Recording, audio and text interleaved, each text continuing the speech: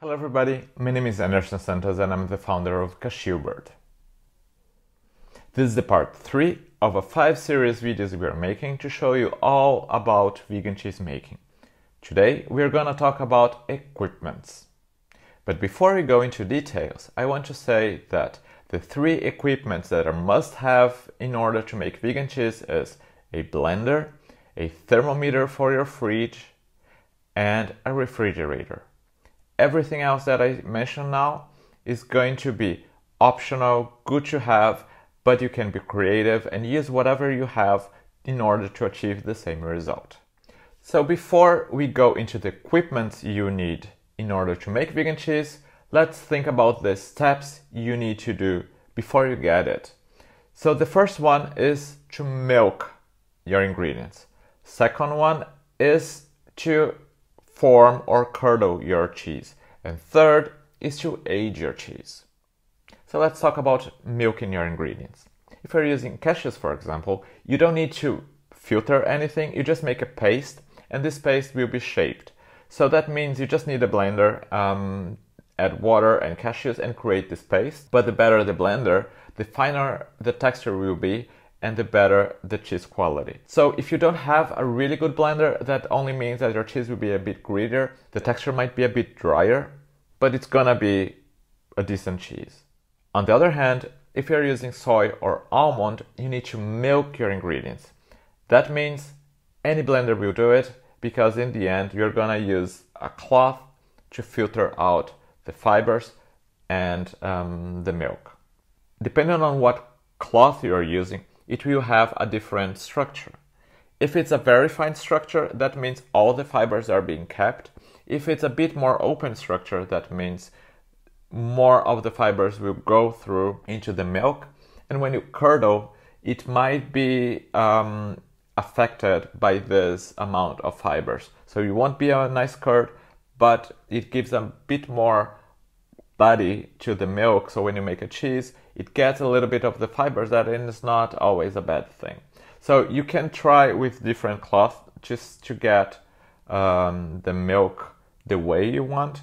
What we have at cashewbert.com, we have a nut milk bag made out of from of linen from an Austrian company, um, and it's open enough just to get a little bit of the fibers out uh, but most of the fibers stay there. It's very easy to milk, but you can use any cloth to get the milk out.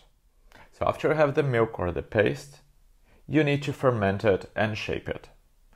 The first two hours of the cheese making is very important because that's when the cultures are starting to grow into the cheese, and that means if you want to make it a better fermentation, you could use electric cooker or a yogurt machine. For the first one or two hours of the cheese making after you add the cultures, you could keep it warm between 35 to 40 degrees and you result in a better uh, cheese.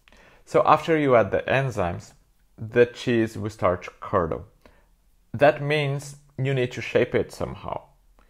For a camembert, you don't need a camembert form. You could even use a bowl or something because there are not there's not a lot of moisture of water that will come out. But if you're making a curdled milk cheese, like almonds for example, that means you need a cheese form in order to get the whey out and keep only the curd.